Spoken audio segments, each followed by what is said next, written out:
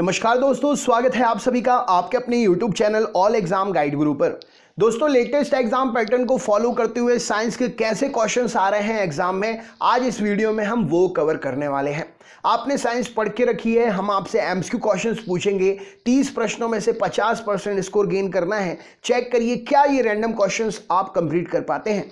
Video अच्छा लगे तो लाइक करिएगा, चैनल पर नए तो सब्सक्राइब करिएगा, बेल आइकन ऑन करके नेक्स्ट वीडियो आपको मिल सके, इसके लिए ऑल वाला नोटिफिकेशन ऑन कर लीजिएगा। तो चलिए शुरू करते हैं वीडियो। साइंस के मोस्ट इंपॉर्टेंट क्वेश्चन सबसे पहला प्रश्न ये रहा स्क्रीन पर।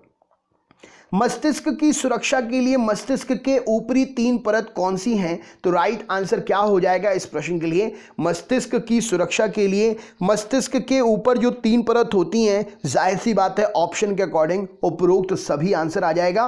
ड्यूरामीटर एरेक्नोइड और पायरोमीटर, ये सभी जो है मस्तिष्क की ऊपर की तीन परत हैं जो मस्तिष्क की सुरक्षा के लिए होती हैं। नेक्स्ट क्वेश्चन देखते हैं, क्या पूछा गया है? मानव शरीर में किसकी अधिकता से हृदय घात हो जाता है? मानव शरीर में किसकी अधिकता से हृदय घात हो जाता है? तो राइट आंसर हो जाएगा कोलेस्ट्रॉल की अधिकता से मानव शरीर में हृदय घात हो जाता है। राइट आंसर है। नेक्स्ट क्वेश्चन देखते हैं, अगला प्रश्न। मानव मस्तिष्क का कौन सा भाग संवेदनात्मक क्रियाओं को नियंत्रित करता है? तो मानव मस्तिष्क का संवेगात्मक क्रियाओं को नियंत्रित करने वाला जो भाग है, उसका नाम है हाइपोथैलेमस ऑप्शन नंबर सी इस प्रश्न के लिए सही उत्तर हो जाएगा। नेक्स्ट क्वेश्चन देखते हैं, प्रश्न है, अस्थि मज्जा में रुधिर कणिकाओं का निर्माण क्या कहलाता है? राइट आंसर क्या हो जाएगा? तो अस्थि मज्जा बोन मैरो में लाल रक्त कणिकाएँ बनती हैं तो आपको पता ही होगा। अब अस्थि मज्जा में जो रुधिर कणिकाओं का निर्माण होता है, उस चीज़ को क्या कहते हैं? तो उसको हेमेटोपाइसिस कहा जाता है। राइट आंसर हो जाएगा हेमेटोपाइसिस ऑप्शन नंबर ए इस प्रश्न के लिए सही उत्तर हो जाएगा। नेक्स्ट क्वेश्चन वोट करने पर आने वाली स्याही किस रसायन की बनती है? जब आप वोट डालने जाते हैं तो आपके हाथ पर निशान लगाया जाता है स्याही से। वो स्याही किसकी बनी होती है? राइट आंसर क्या हो जाएगा? तो वो स्याही सिल्वर नाइट्रेट की बनी होती है। ऑप्शन नंबर सिल्वर नाइट्रेट सही उत्तर है। नेक्स्ट क्वेश्चन देखते हैं। अगला प्रश्न, निम्न में से मिश्रित पत्तियों वाला पादप कौन सा है? इनमें मिश्रित पत्तियों वाला पादप कौन सा है? राइट right आंसर क्या हो जाएगा? तो नारियल जो है, मिश्रित पत्तियों वाला पादप है। राइट right आंसर हो जाएगा इस प्रश्न के लिए ऑप्शन नंबर बी। इस प्रश्न के लिए सही उत्तर हो जाएगा नारियल। नेक्स्ट क्वेश्चन देखते हैं।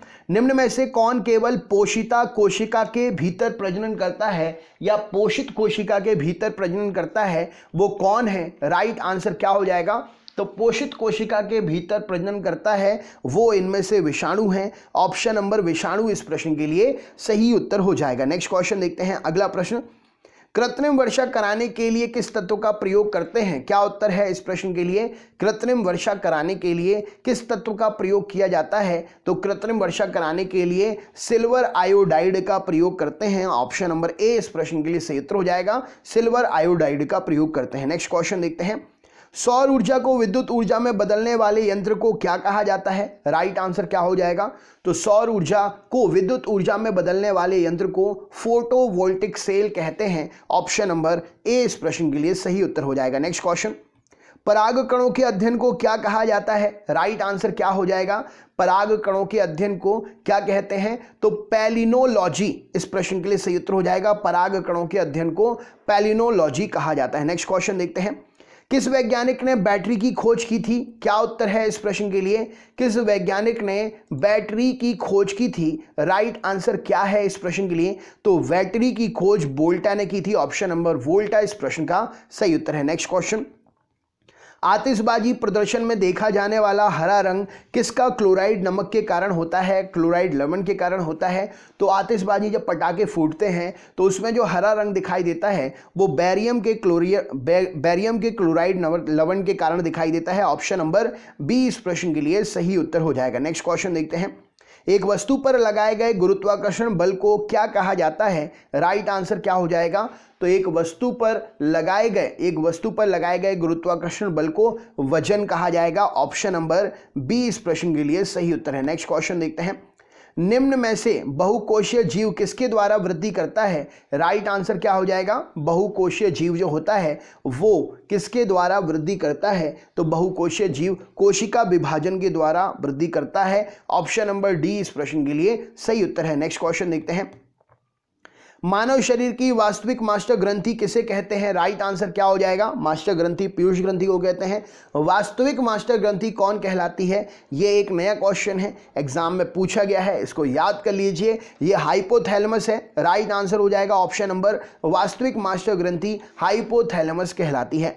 नेक्स्ट क्वेश्चन देखते हैं। सहचर कोशिकाएँ निम्न में से किसमें होती हैं? क्या उत्तर हो जाएगा? सहचर कोशिकाएँ जो हैं, किन में होती हैं? तो एनजियोस्पर्म में ऑप्शन नंबर सी इस प्रश्न के लिए सही उत्तर हो जाएगा। सहचर कोशिकाएँ एनजियोस्पर्म में होती हैं। नेक्स्ट क्वेश्चन देखते हैं। अगला प्रश्न, कोशिका के केंद्रक में निम्न में से कौन सा द्रव्य होता है? कोशिका के केंद्रक में निम्न में से कौन सा द्रव्य होता है? तो राइट आंसर हो जाएगा कोशिका के केंद्रक में न्यूक्लियोप्लाज्म होता है। राइट आंसर हो जाएगा ऑप्शन नंबर न्यूक्लियोप्लाज्म होता है। नेक्स्ट क्वेश्चन देखते हैं। आवर्त सारणी के न्यूनतम प्रतिक्रियाशील तत्व कौन से हैं? आवर्त सारणी के न्यूनतम प्रतिक्रियाशील तत्व कौन से हैं? तो आवर्त सारणी में जो न्यूनतम प्रतिक्रियाशील तत्व हैं, वो हैं उत्कृष्ट गैसें। Option number C next question देखते हैं। पूर्ण आंतरिक परावर्तन कब होता है? जब प्रकाश कहाँ से कहाँ जाता है? तो पूर्ण आंतरिक परावर्तन जब होता है, जब प्रकाश हीरे से कांच में जाता है राइट आंसर हो जाएगा option number A next question देखते हैं। डीएनए अंगुली छाप का प्रयोग किसकी पहचान के लिए करते हैं?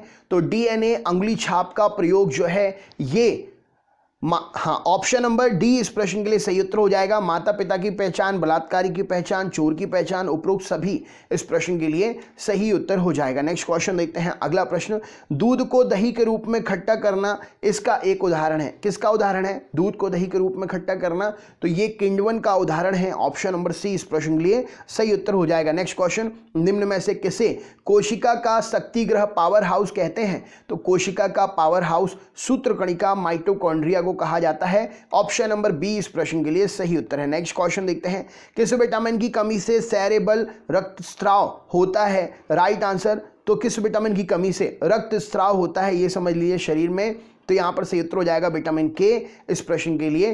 विटामिन ए मतलब विटामिन के ऑप्शन नंबर ए, यहाँ पर सही उत्तर हो जाएगा। नेक्स्ट क्वेश्चन पौधों के किस भाग से कॉफ़ी प्राप्त होती है, क्या उत्तर हो जाएगा? तो पौधों का भाग वो है जड़। ऑप्शन नंबर कॉफ़ी जो है, जड़ों से प्राप्त होती है। राइट आंसर हो जाएगा। नेक्स्ट क्वेश्चन सबसे कम तरंग दैर्ध्य वाला प्रकाश इनमें से कौन सा है? राइट आंसर क्या हो जाएगा? सबसे कम तरंग दैर्ध्य वाला प्रकाश बैगनी प्रकाश है। ऑप्शन नंबर डी यहाँ सही उत्तर है। नेक्स्ट क्वेश्चन कांच प्रबलित प्लास्टिक बनाने के लिए किस प्रकार के कांच का प्रयोग करते हैं? तो कांच प्रबलित प्लास्टिक बनाने के लिए रेशा कांच का प्रयोग करते हैं। ऑप्शन नंबर बी यहाँ सही उत्तर है।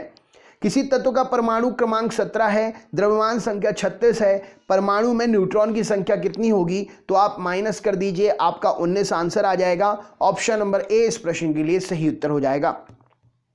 निम्न में से हाइड्रोफाइट्स में किसकी कमी होती है? तो हाइड्रोफाइट्स जो होते हैं, जो जलीय पौधे होते हैं, उनमें जो है रंध्र की कमी होती है। ऑप्शन नंबर सी इस प्रश्न के लिए सही उत्तर हो जाएगा। निम्न में से कौन सी रक्त की ऑक्सीजन निम्न में से कौन सी गैस रक्त की ऑक्सीजन ले जाने की क्षमता को कम कर देती है? तो रक्त की ऑक्सीजन ले जाने की क्षमता को कार्बन मोनोऑक्साइड कम कर देती है हीमोग्लोबिन के साथ संयोग करती है। राइट आंसर हो जाएगा। नेक्स्ट क्वेश्चन देखते हैं। अगला प्रश्न। निम्न में से गामा किरणें किसकी वजह से बन सकती हैं? गामा किरणें किसकी वजह से शरीर में बन सकती हैं? तो राइट आंसर हो जाएगा जीम किसकी वजह बन सकती हैं? तो गामा किरणों का ज़्यादा शरीर का टच होना जीन उत्परिवर्तन का कारण हो सकता है। ऑप्शन नंबर जीन उत्परिवर्तन का कारण बन सकती है गामा किरणें। तो ये थे तीस क्वेश्चन साइंस के। क्या स्कोर रहा? कमेंट बॉक्स में ज़रूर शेयर करें। चैनल पर नए हैं तो चैनल सब्सक्राइब कर लें, क्योंकि इसके बाद जीके के क्वेश्चन अपलोड कर रहा हूँ तो वो भी वीडियो देखिएगा आप। अपने दोस्तों को शेयर करें, चैनल से ज़्यादा से ज़्यादा दोस्तों को जोड़ें। निःशुल्क क्लासेस हैं तो आप सभी पर डे वीडियो प्राप्त कर सकते हैं। सब्सक्राइब करके बेलाइकन ऑन ज़रूर कर लीजिएगा। अच्छा लगा हो वीडियो तो लाइक करिएगा। बहुत बहुत धन्यवाद। आपका दिन शुभ हो।